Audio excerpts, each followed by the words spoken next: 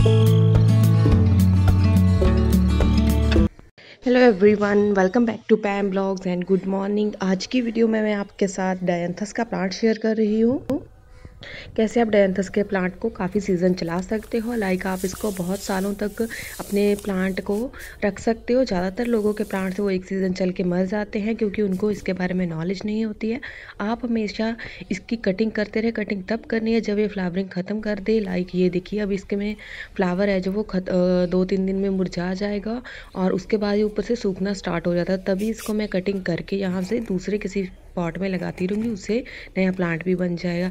ये जो प्लांटर है, इसमें मैं इसको शिफ्ट करूँगी क्योंकि इसमें जो मनी प्लांट्स की ग्रोथ नहीं हो पा रही है और मुझे रीज़न भी अभी नहीं पता है। मैं इसको खोल के देखूँगी अच्छी तरह से या फिर इसको पानी में लगाऊँगी। ये देखिए, बाकी जो मनी प्लांट है, उनकी ग्रोथ बहुत अच्छी हो रही है। बाकी पंजाब में ठंड का सीज़न चल रहा है, उसकी वजह से भी प्लांट्स की ग्रोथ अभी रुकी हुई है। डेंथ के प्लांट की जो केयर है, बहुत इजी है। आप इसको हमेशा कटिंग करते रहें। जो भी इसकी स्टेम्स सूखने लगती हैं, आप उसको सूखने मत दीजिए। आप फटाफट से उसको कटिंग करके और जो हमारा करंट लाइक ये अभी प्लांट देख रहे हो, इसको भी आप ज़िंदा रख सकते हो और उससे न्यू कटिंग्स भी तैयार कर सकते हो।